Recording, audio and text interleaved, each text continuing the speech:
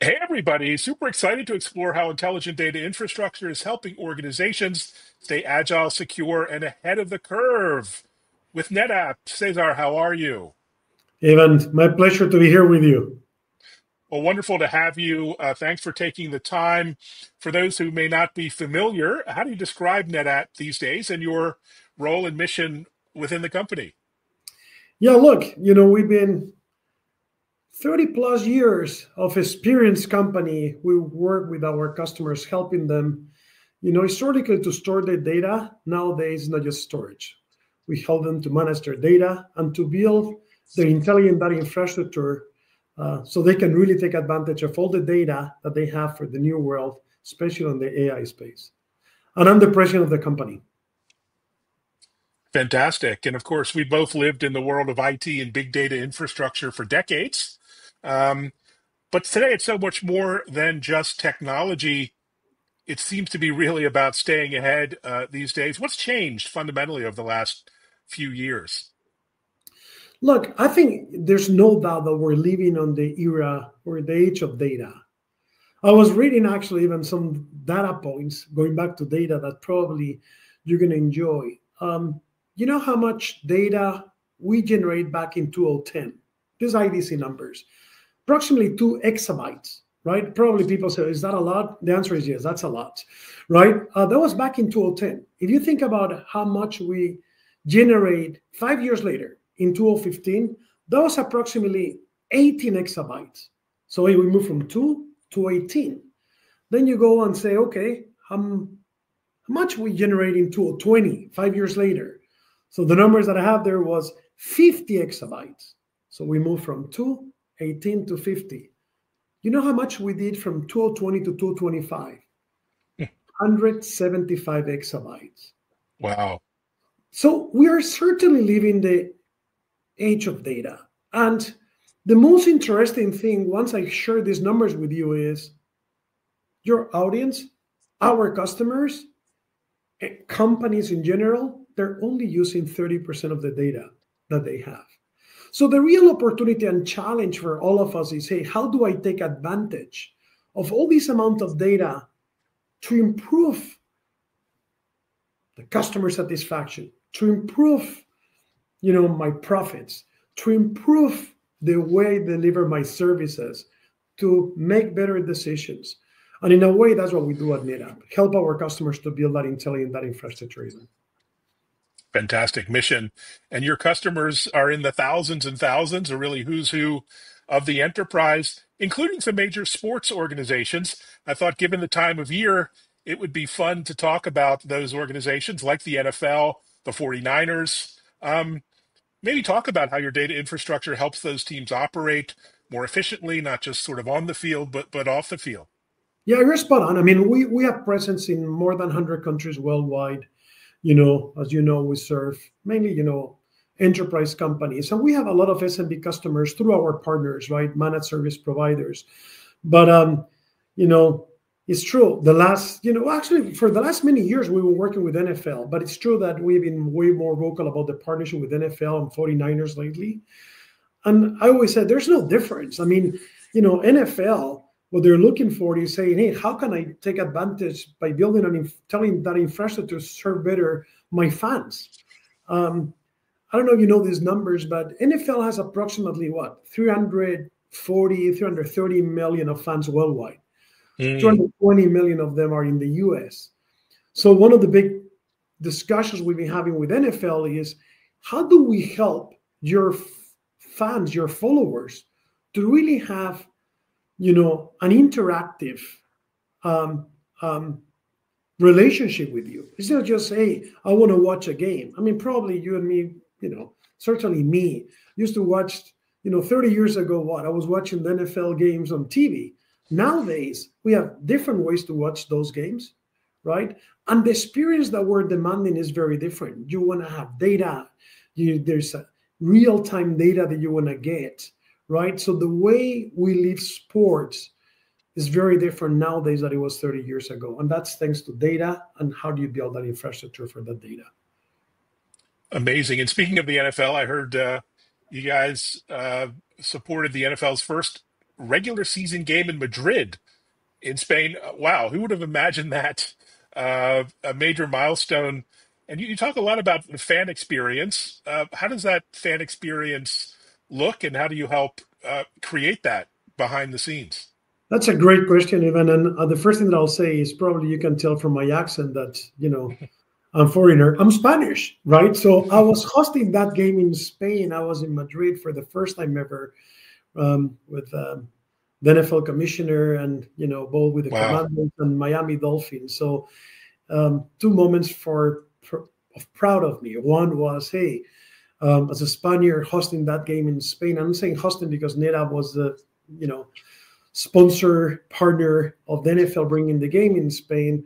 Um, and the second thing was, you know, hey, being at NetApp and making that possible with our technology was a great, great, you know, sense of pride as a NetApp person, right? Um, look, this is, you know, this is what is going on. NFL is trying to go and, you know, become way more international, as I shared before. Um, it's not just Madrid. We work with them in Berlin this year in Germany. We work with them in London. We have mm. been with them in Dublin in Ireland, but also in Sao Paulo in, in Brazil. And the goal that NFL has is to bring the same type of experience to their followers in these international games that in the local games that they have in the US, right? And that requires technology.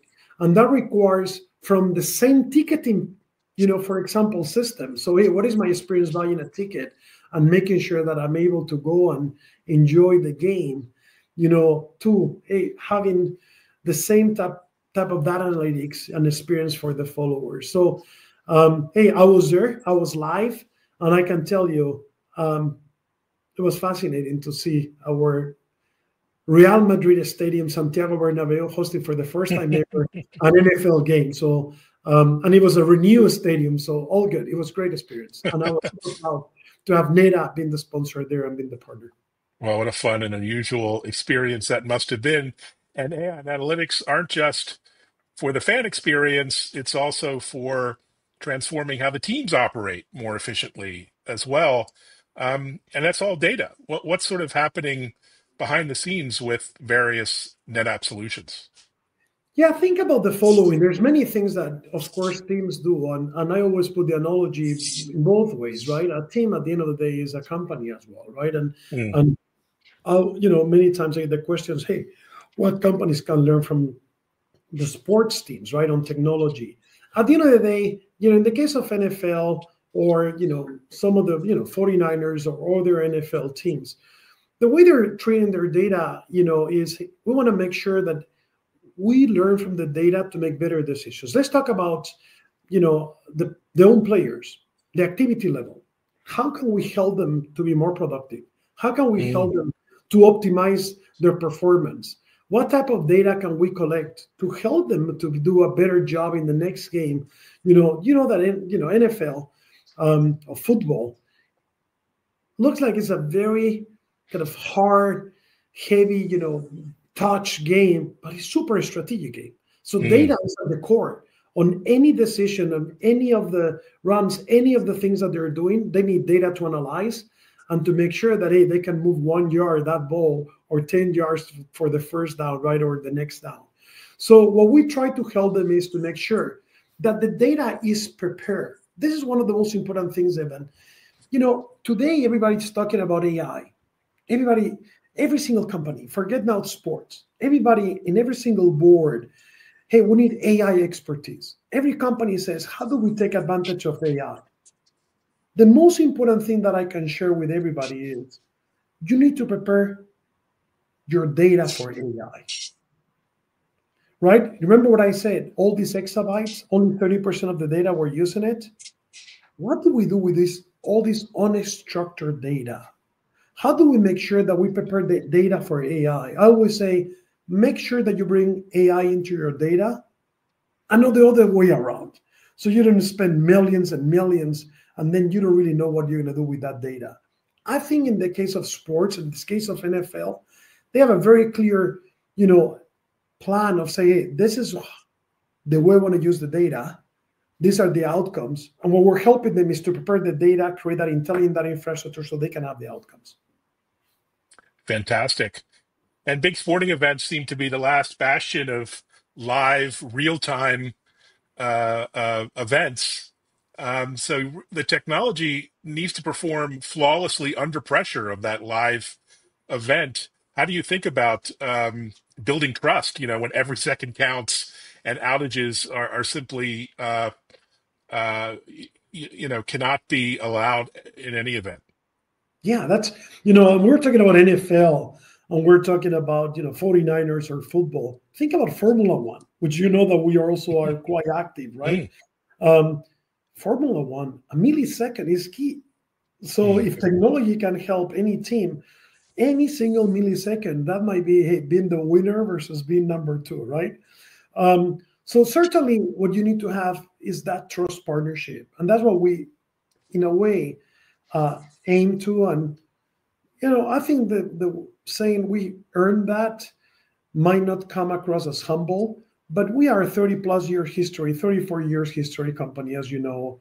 Um, you know, we serve customers across the globe. And one of the things that I feel the most proud about is our, you know, level of customer satisfaction. And that's built, mm. that's built on trust, even. That's built on trust of saying, hey, how do we protect our customer investments? How do we make sure that our technology has the performance that they need, the scalability that they need? Because probably we have said this for many, many decades, but or several decades, but nowadays I think everybody will agree that probably the most important asset that any given company has is their data. Of course, it's our employees and it's our customers. But everybody says that the new gold is the data. And guess what? That's what we do help customers with their data. And the security of that data is now mission critical for every organization at the C level. That really didn't used to be the case. How do you think about keeping customers protected and resilient in this really tough cyber environment? Yeah, you're you're spot on. I mean, look, um, most of your audience understand technology quite well, but there's something that I like to tell many of the CEOs and BDMs that are not necessarily technology driven. I say, the bad guys have been there forever. You know, our generation was used to go to a bank where basically you see these, you know, armor cars trying, you know, moving money with all these people with guns, right? And and that was normal because hey, they need to protect the money that was going from this place to this other place, right? And you will come in into a bank and you have a metal detector or guns detector, and there's somebody with a armor, you know we said that's normal because we we born with that and we have lived with that, right? And if we watch those movies and you know um, uh, from many years ago, you see that people coming and robbing banks and all those things. Nowadays, if the new gold is called data, we shouldn't be surprised that people is trying to steal data. And then you have all these cybersecurity threats, right? All these threats that are coming, you know, in the new age of data. Well, our job and our commitment has been, and it is, to make sure that we are the most secure, you know, um, company on the planet, storing, protecting, you know, um, the data of our customers. We don't do that, meaning, as you know, we provide the technology, so they're the ones having that in their own data centers or in the hyperscalers or in our service. You know, many of, of our customers that are service providers. But what we have is the right technology to make sure that the data is protected, and also that we can have the right systems and alarms for our customers to hey, protect or any potential change happening in their data. So we can go and say, let's go and block this a potential attack, or hey, offering ransomware protection, etc., etc. So that's for us a maximum and is one of the biggest commitments and differentiations that we have as a company. Amazing. And of course, so many interesting insights and lessons from your work with the NFL about staying connected and agile and competitive. But what can other industries that are a little more mundane, perhaps yeah. uh, like healthcare, you know, finance, manufacturing, what can they learn from the that model? Yeah, that's actually, I was telling you before, I get this question many times, right? Say, what can we learn? You know, and I always say you can learn both ways. I, look, I think sports, um, you know, sports it's interesting because sports at the end of the day, there's a piece of it which is an enterprise. I mean, you have offices, you you have data of your own business, you have an accounting system, you have applications, etc. But it's true that then you have some specifics which are very much depending on the type of sports uh, for their own needs. I was telling you before about Formula One, right? Speed. Hey, how do I ensure that the data that I have is processed and I have real time information because I need to make decisions real time? Well, think about financial services or healthcare. In healthcare, you're talking about lives. So that's real mm. mission. That's a real mission critical application, right?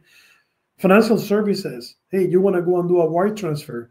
You want to make sure that you make the right decision with it. I mean, that's a mission critical application, and you want to do that real time. You don't want to go and do a, you know, go to a cashier. You're going to go and do this transaction. Say, oh, let me go and wait to get an answer.